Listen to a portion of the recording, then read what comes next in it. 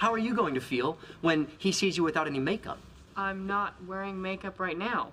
Holy crap, you're beautiful.